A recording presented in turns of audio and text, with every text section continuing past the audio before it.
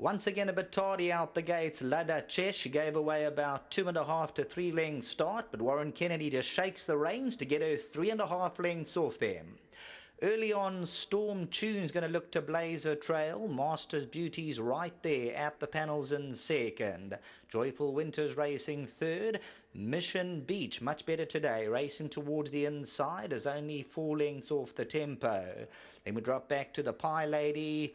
The favourite, La Duchesse, in the green silks, is only five lengths off them and she's perfectly placed. If she's good enough, she'll win from there tonight. Further back in the running, Star Lady, Imperial Seals one off the outside, Whispering Hill, Live My Dream the trailer. 700 to go, Storm Tune three parts of a length, Joyful Winter, Master's Beauty, then comes the Pie Lady, Mission Beach, La Duchesse as per usual, she's hard against the still, just got to play the waiting game. Towards the outside, Imperial Seal. 400 meters to go. Joyful Winter now moves into attack. Storm Tune. La Duchesse on the left hand side. She comes forward, still under the hands to the inside. Mission Beach trying to come forward. Joyful Winter. La Duchesse. Could she put it together? Mission Beach is running on, but La Duchesse hit the front the last hundred. Mission Beach is trying to apply pressure.